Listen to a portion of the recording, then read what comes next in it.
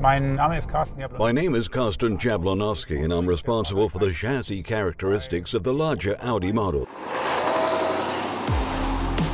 The attribute well balanced aptly describes one feature of our chassis as we try to set them up to provide both comfort as well as drive dynamics.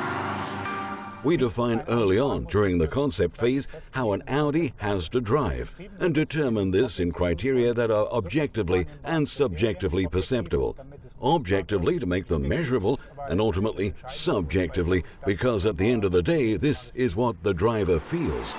In the past, cars were fitted with significantly less technology. The requirements on comfort were simply different then. Ein Drehstabilisator vorn und der als Stabilisator wirkende Körper der Torsionskurbelachse hinten verringern in Kurven die Seitenneigung.